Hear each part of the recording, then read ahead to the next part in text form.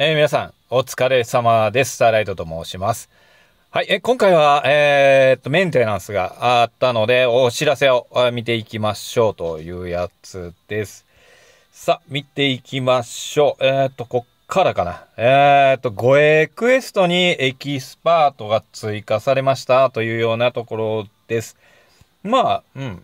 うーん、まあやっていこうってやつ。うん 結構ね、護衛クエストってめんどくさいよな。うん、まあ、新しいとこ追加されて、で、報酬も良くはなってると思うんで、えー、やっていこうかなというとこですね。で、判事の紹介所エキスパートから稀に背景付きを除いた星5団員が手に入るみたいです。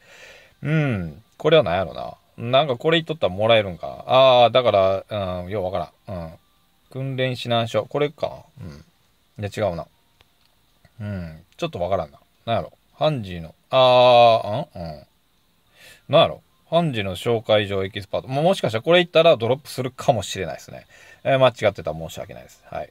で、えー、っと、動画クエスト、広角クエストうん。広角クエストもエキスパートが追加されてます。まあ、これに関しては、一回、えー、っと、スキップ使うんじゃなくて、ちゃんと行って、えー、っと、最大の、あと、報酬をゲットできるような立ち回りで、ボーナスタイム中に一回言っとく必要があるんですけど、まあ、それに関しては、ま、色によって、まあ、あれですけど、うん、多分ペチペチして最後、あの、がっつりダメージ与えたら、あの、最大の報酬はもらえると思うんで、まあ、そんな感じで、えー、やってみてから、スキップチケットつけ、使ってみたいなところになるかなと思います。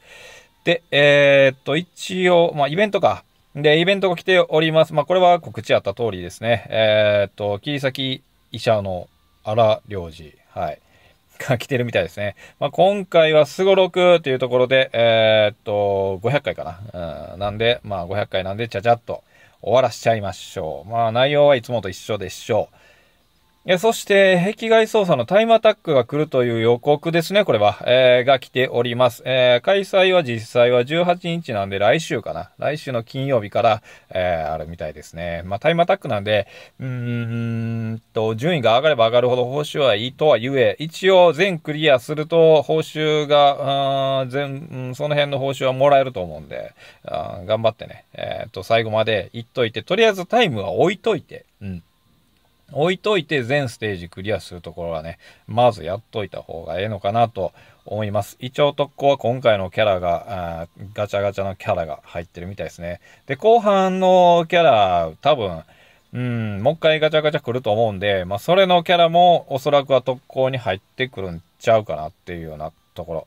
えー、そして、ガチャか。うん、まあ、これは詳細後で見ていきましょう。ねそんなとこかな。うん。まあそんなとこでしょう。うんうんうんうんうん。で、新しいガチャの団員勲章とかも追加されてますよというようなところで、えー、ガチャガチャの方を見ていきましょう。今回は、えー、っと、この3名ですね、えー、新キャラ追加されております。えー、っと、簡単に見ていきましょう。えー、前衛の、えー、黄色の攻撃型というところで、ケニーがね、久しぶりやな、ケニーって。うん。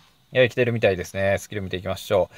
スキル1は全体攻撃で、えっ、ー、と、追撃があるタイプかな。んで、5回撃つみたいですね。で、防御ダウンやったら 850× の5。えー、そして、えっ、ー、と、会心の発生補正が3倍。で、これあれか、幻惑か。幻惑がついてて敵全体が受けるダメージが20%増加されて、命中率も70%に、えー、ダウンさせるという、まあ、デバフ付きですね。うん。まあまあまあって感じかな。で、うんと、もう一個効果があって、えっ、ー、と、これが、会心のダメージがアップしてる状態やったら攻撃1.2倍になりますよ。えー、っと、何 ?20 秒間の攻撃、どっちどっち？あ、攻撃、会心のダメージがアップやったら1.5倍か。通常では1.25倍。うん、外周のダメージアップ状態やったら1.5倍最大でね、えー、なるみたいですね。えー、そしてスキル2も全体攻撃で、えー、っと、一応防御ダウン入ってたら、えー、1200%。うんで、えっと、開始の発生率が2倍のスキルです。で、これには効果も一応ついてて、うんと、待機時間が20%減少ですね。で、スキル3も全体ですね。うん、全体持ち。これはまあ、明らか周回向けではある。うんと、これも追撃か。これも追撃でスキルが5回打つようなタイプのやつですね。で、一応気絶が入っておる、入る。うん。で、防御ダウンやったら、あ、気絶がさらにレベルアップするんか。あ、なるほどね。うん。んで、これが、えー、っと、もう一回効果の方があって、開始のダメージが上がる。ここで自分で完結できるような感じですね。で、40%アップ。で、えっと、対象が会心ダメージアップ状態やったら、うんと、率も20%アップ。うん、これどうなんやろな。会心のダメージ。これ打った瞬間に入るんかないや、違うやろな。で、どうやろう。会心のダメージアップ状態でこれ打ったら入るんかな。まあ、その辺ようわからんねんな。多分、一緒に入りそうな気はするけど。うん。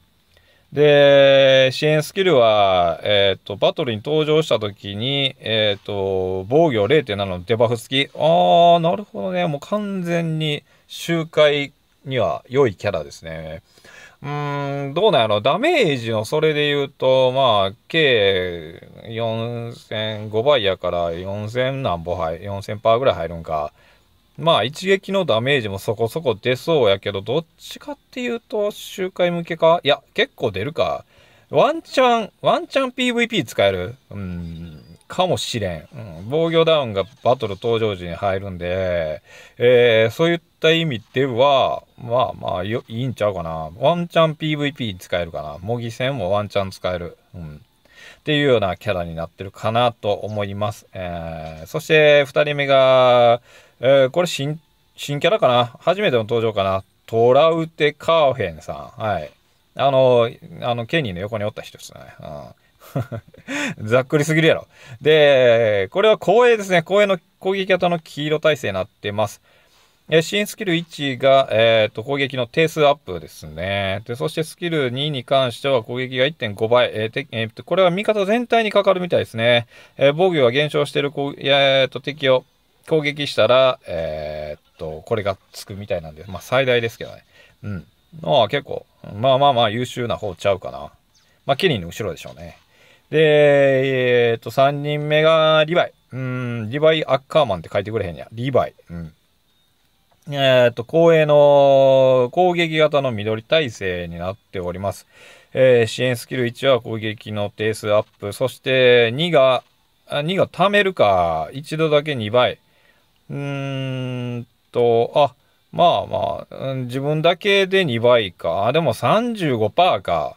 35%ってそんな高ないよな、多分。35%。最大で35%。えっと、なんやろ。あのー、なんや、あ、全然でも、ハンジか。ハンジと比べてどうなんやろな。いや、発生率はこっちの方が低いような気がするな。倍率は一緒でしょうけど。うん。まあ、っていうような感じで、えー、一応この3名が来ております。っていうとこなんですけれども、まあ一応、えー、っと、ケニーの方が黄色ってことで、自分が黄色の周回キャラが、まあ、エルビンなんでね。うん。まあ、もうぼちぼち古なってきたんかなっていうようなところで、えっと、一応引いていきたいなと思うんですけれども、まあ、今回のガチャガチャに関しては、えー、まあ、この動画ちょっとまあ、もう長々ってるんで、えー、別で、えー、ガチャガチャの方は撮って、え、また動画投稿したいなと分けていくスタイル。はい。いやもう動画撮る、あのー、なんていうかな、ネタがね、あの、小分けしていかんと。はい。小分けしていかんと。あの、本数がね、まとめちゃうと減っちゃうんで。はい。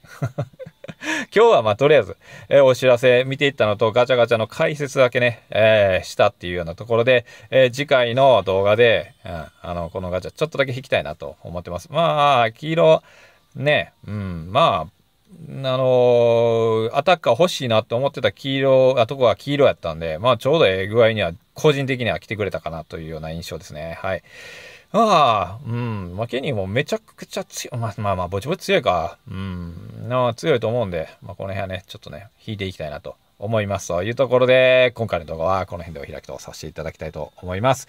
最後までご視聴ありがとうございました。